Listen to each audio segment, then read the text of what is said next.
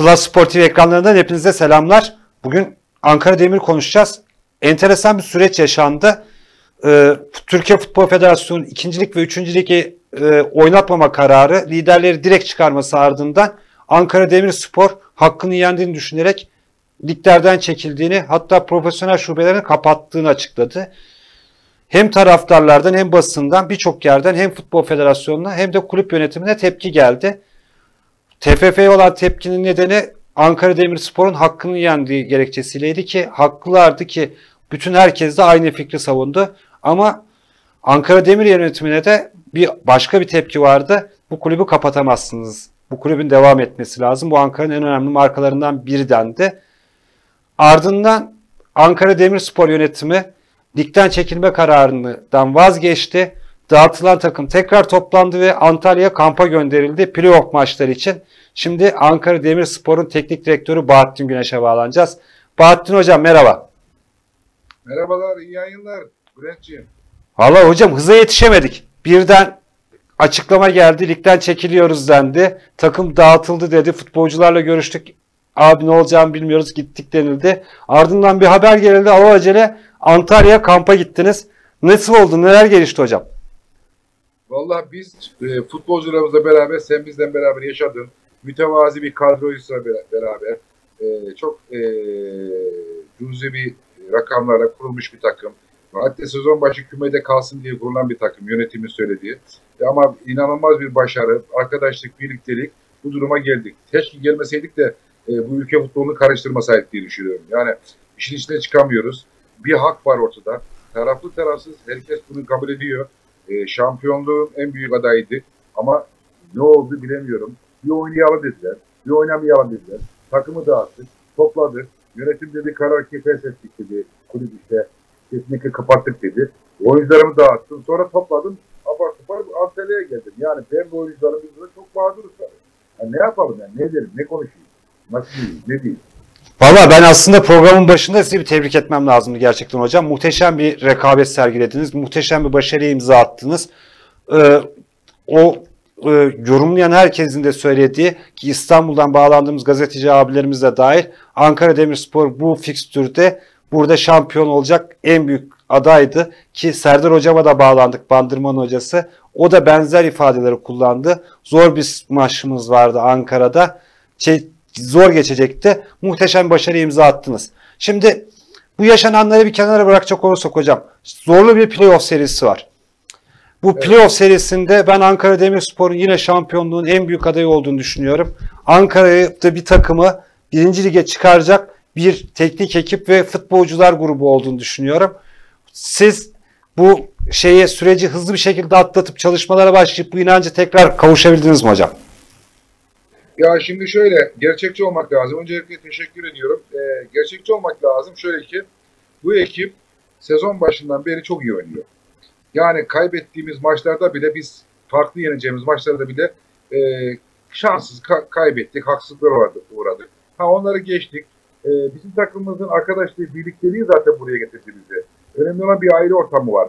E, bu aile ortamında biz ne yaptığını bilen bir takımız ve iyi oynamaya çalışıyoruz.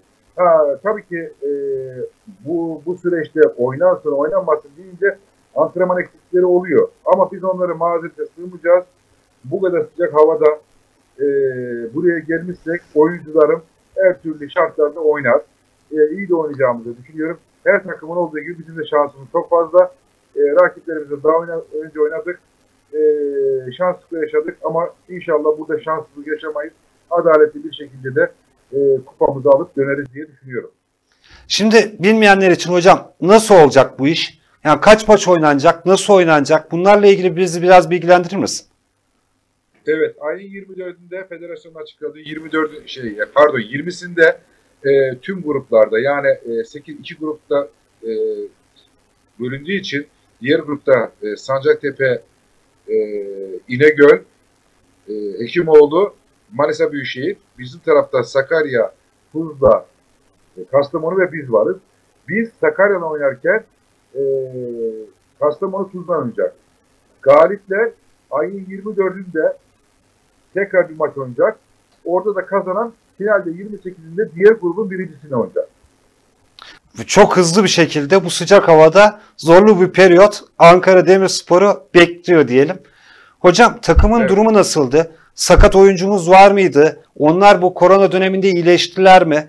Ee, bir manada belki de avantaj da olmuş olabilir. Çok önemli oyuncum vardır, sakattır. Korona döneminde iyileşmiştir. Çok iyi golcülerim var. Ee, bu takımın durumu ile ilgili de biraz bizi bilgilendirebilir misin hocam? Evet doğru diyorsun. Ee, aslında güzel de söyledin. Ee, şöyle ki bizim takımın kadrosu kısıtlı olduğu için e, belirli e, yük e, çoğu oyuncuların üzerindeydi. Yani yaklaşık e, 12-13 kişi çok ağırlıklı oynadı. E, bu süreçte de bir tek şansımız oldu. Bu yük binmesinden dolayı dinlenme süreci oldu ama e, tekrar diğer oyuncular da katılımlı oyuncular da var. E, onlar da katkısı olacağı için e, bir sıkıntı olacağını düşünmüyorum. E, ama e, dediğinizde doğru. E, ama sadece antrenman eksikliği var. Yani gitti geldi ara verdik, tekrar iptal ettik. Onlar biraz sıkıntı olacak. E, bir de havanın sıcak oluşu e, biraz tabii e, sıkıntı yaratabilir diye düşünüyorum. Ama onun haricinde e, her türlü oyuncularımız her türlü şartlarda zaten mazeretsiz oynayacaklardır diye. Valla hocam ben seni gördüğüm zaman bugün Celal hocam da hatta Ankara Demirspor tesislerinin önüne gitti kulübün kapanmaması ile ilgili. Bir, yine bir Antalya Şekerspor maceramız vardı. Şekerspor'un Süper Lig'e çıktığı maç zor şartlar altında Celal hocam başarmış ve e, Şekerspor'u Süper Lig'e taşımıştı. Ben aynı performansı açıkçası Bahattin hocamdan ve öğrencilerinden de bekliyorum. Ankara'nın çünkü bu sezon özellikle daha da bir başarıya açlığı var. Ankara gücü zor zamanlar geçiriyor. İki haftalık maçta eğer rakip kazan, kendi kazansa dahi yetmiyor. Belki büyük ihtimalle ligde kalmakta zorlanacak. Osmanlı Spor benzer son dakikaya kaldı. Alttaki liglerdeki takımlar küme düşmeni iptaliyle bir rahatlama yaşadılar ama Ankara'nın bu sezon başarıyı getirebilecek tek takımı Ankara Demirspor. Onun için bu şehir arkanda demsem sanırım yanlış olmaz hocam. Çok büyük bir kültürden, çok büyük bir camiadan bahsediyoruz. Ee, çok çok güzel özetledin. Öncelikle sana ve Klas TV ailesine çe- tebrik ediyorum. Yaptığın programda gerçekten Ankara futboluna o kadar değer verdin ki, öyle bir ses getirdin ki, yani buna kayıtsız kalamayız bir. İkincisi, e, söylediğim bu çınar, 90 senelik bir çınar, bir, bir anda yok olamaz. Çalışanlar, personel, bu camia çok kupalar aldı, çok iyi oyuncular, çok iyi hocalar yetiştirdi. Doğru. İki, Celal Hocam duayen hocalardandır. Gerçekten dedikleri hepsine katılıyorum. Kendisi de beni sağ olsun aradı. Her türlü zamanda arayabilirsin dedi. E, final maç, maçları değişik oluyor dedi. Ben ona hak veriyorum. E, ben de aynı şekilde hocam dedim dediğinizi yapacağım dedim. E, bu konuda da Meriç abiler, diğer gazeteciler, hatta Türkiye'de hep dinledim. Ankara futboluna çok büyük yer veriyorlar. Sizler de veriyorsunuz. Ama ben şunu isterdim ki sizin de tarif ettiğiniz gibi şeker spor, işte ne bileyim e, aklıma gelenler PTT e, şey vardı, Türk'te vardı, Türk Telekom vardı. E, bu, bu tür takımlar e, burada silinip gittiler. Ankara Demirspor gitmesin çünkü büyük bir camia kupalarla dolu. E, Ankara futbolda işte Ankara gücünden dolayı sıkıntı yaşıyor. Yine küme düşme mücadelesi. Osmanlı aynısı. Bir tek Gençler Birliği direniyor. Ama neden Ankara futbolunda birlikteliğimiz ve beraberliğimiz daha çok siz yapıyorsunuz bunu? Biraz daha e, kişi sayısını artırıp da bu bağlılığı e, yapıp e, Ankara futbolunu daha yukarılara çık- çıkartmamız lazım. Bizim oynadığımız dönemde Ankara gücü takımı kupa finalleri oynadı. Daha önce kupayı aldı.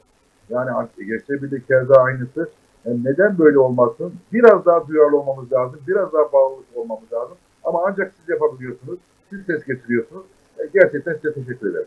Valla inşallah hocam o şampiyonluk maçında, final maçında ben de tribünlerde olacağım. Maç sonrası ilk mikrofon uzatanlardan bir tanesi olacağım. O kupayı inşallah Ankara'ya beraber getireceğiz.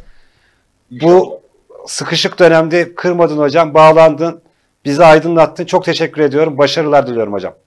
Çok teşekkür ederim size ve Klas ailesine teşekkür ediyorum. İyi yayınlar diliyorum kardeşim. Görüşmek üzere hocam.